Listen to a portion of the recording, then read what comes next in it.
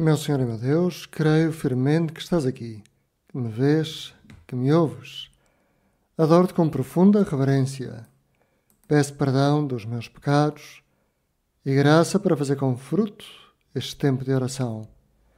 Minha Mãe Imaculada, São José, meu Pai e Senhor, anjos da minha guarda, intercedei por mim. Cada manhã, depois de tomar o pequeno almoço, abro o WhatsApp e depois de ler as mensagens das pessoas que me escreveram, costumo ir ver as atualizações, ver aquilo que cada pessoa uh, enviou para partilhar com todos os seus contactos. Aquilo que no Instagram também chamamos as stories e que é uma imagem daquilo que a pessoa pensa, daquilo que a pessoa fez. É interessante para saber aquilo que os amigos andam a fazer, a pensar, a desejar. Pois pensava nisto ao começarmos a nossa oração. Porque cada um de nós é também como uma imagem de Deus. Cada um de nós tem todo o amor de Deus e uma missão nesta terra. Por isso, Senhor, hoje queremos começar por te agradecer isto, por cada um de nós ter sido criado à tua imagem. É importante perceber o que é sermos criados à imagem de Deus porque nem tudo o que fazemos espelha a imagem de Deus que nós somos. Nem devemos atribuir a Deus a maldade dos homens. E rezar e perceber o que é a imagem de Deus pode alterar o meu estudo, a relação com os outros, ajudar a compreender quem eu sou, afinal, e o que estou aqui a fazer na Terra. O Evangelho de hoje fala-nos precisamente disto. Alguns fariseus foram ter com Jesus e perguntaram-lhe: É lícito ou não pagar o tributo a César? Devemos pagar ou não? Jesus, conhecendo a sua hipocrisia, respondeu-lhe: Por que me armais esta armadilha? Trazei-me um denário para eu ver. Eles trouxeram-no, e Jesus perguntou-lhes: De quem é esta imagem e esta inscrição? No tempo de Jesus, tal como hoje em dia, as moedas têm uma imagem. Naquele tempo, tinham a imagem, a cara do imperador de Roma. Eles responderam: É de César. Então Jesus disse-lhes: Dai a César o que é de César e a Deus o que é de Deus. Dar a César o que é de César não significa separar o político do religioso. Evidentemente que há uma autonomia, mas Jesus vai muito para além disso.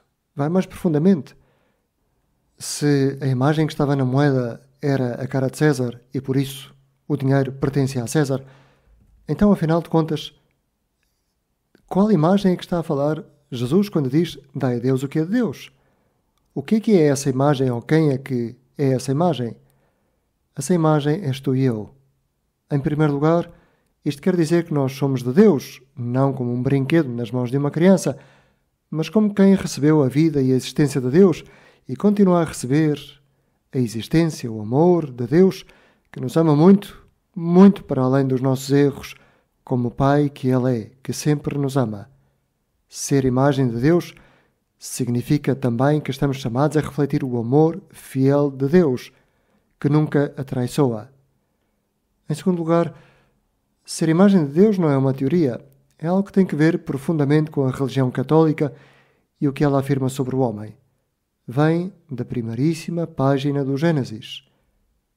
Deus criou o homem à sua imagem, lemos no primeiro capítulo do Gênesis. Criou a imagem de Deus e criou-os homem e mulher. Quando Deus criou Adão, criou-o à sua imagem. Por isso o corpo de Adão não era como dos animais, mas manifestava continuamente interioridade, uma vida espiritual. Ser criado à imagem de Deus significa que foste criado segundo aquele amor fiel de Deus por cada homem e por cada mulher. Um amor que consegue dar a sua vida para sempre, que consegue livremente comprometer-se não apenas com bonitas palavras, mas cada dia. O salmo de hoje faz-nos saborear esta fidelidade que Deus tem. Mil anos a vossos olhos são como o dia de ontem que passou e como uma vigília da noite. Que bonitas palavras que o Senhor nos dirige a cada um de nós.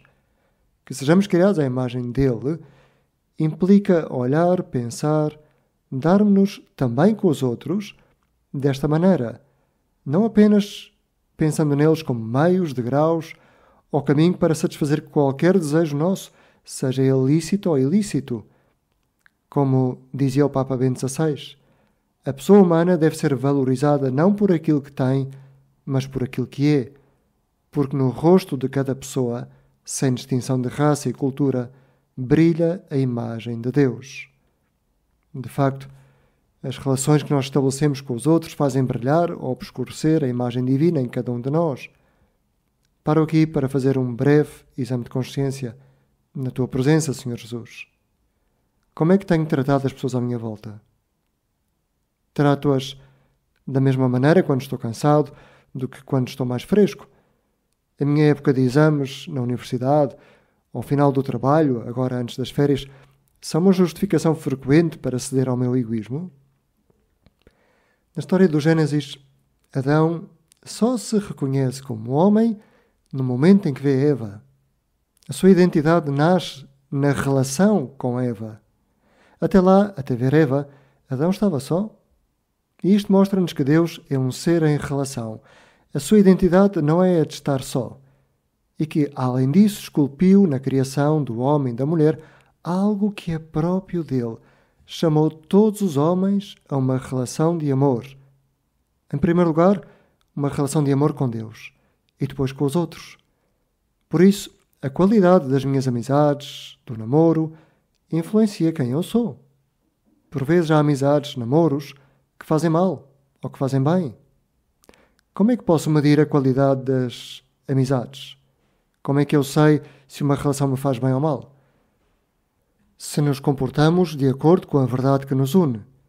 Esta é a maneira de saber se uma relação nos faz bem a nós ou nos está a fazer mal.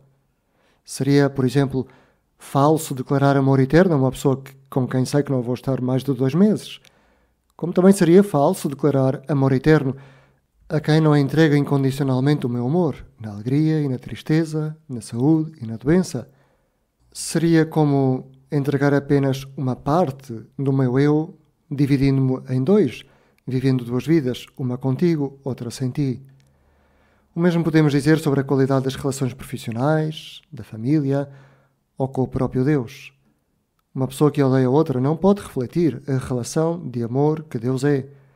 Uma pessoa que cede continuamente à preguiça não reflete a vida de Jesus, que continuamente trabalhou pela conversão das pessoas ao Pai do céu.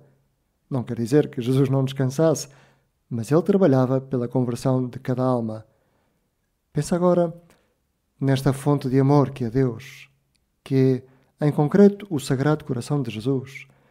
Quando às vezes as nossas relações não têm a qualidade que deveriam ter e devem ser melhoradas, então talvez tenhamos que voltar a Deus, falar com Ele. E para isso, falar ao Sagrado Coração de Jesus. Já na próxima sexta-feira vamos celebrar esta solenidade na Igreja. E podíamos pensar que a solenidade do Sagrado Coração de Jesus é algo recente, que começou ainda há pouco tempo. Mas, na verdade, já no século XIII, na Renânia, atual Alemanha, há uma santa, Santa Lutgarda, que tem muitas revelações do Sagrado Coração. Nas suas aparições, Jesus aparecia esta santa com o coração perfurado. E como a Santa Catarina de Sena, um dia Jesus trocou o seu coração com o de Santa Lutgarda. Um dia, nas suas aparições, Jesus perguntou a esta santa: O que é que tu queres? E Lutegarda respondeu: O teu coração. Queres o meu coração? Pois eu quero o teu. Então a santa respondeu assim: Toma o Senhor, para que o amor do teu coração esteja tão unido ao meu próprio coração e eu possa possuir o meu coração em ti, e aí permanecer para sempre seguro na tua proteção. Tinha razão esta santa, porque para possuirmos o nosso coração só o podemos fazer a partir do amor de Deus. Para amar os outros, temos primeiro que passar pelo coração de Jesus, pelo seu amor. E então podemos possuir o nosso coração. Então, as tentações, a preguiça, a vaidade, a falta de castidade, os rancores, os ódios, são tentações que ficam como que dormidas. E vem a alegria de estar todo o tempo, em qualquer momento, com o amor de Deus, ser reflexo desse amor neste mundo, na minha família, enquanto trabalho, quando acabo o trabalho, quando começo a fazer qualquer outra atividade. Vamos pedir isto a Nossa Senhora, ela que guardou o Sagrado Coração de Jesus enquanto o embalava e cantava para ele durante tantas noites. Dou-te graças, meu Deus, pelos bons propósitos, afetos e inspirações que me comunicaste nesta meditação. Peço ajuda para os pôr em prática. Minha Mãe Imaculada, São José, meu Pai e Senhor, anjo da minha guarda, intercedei por mim.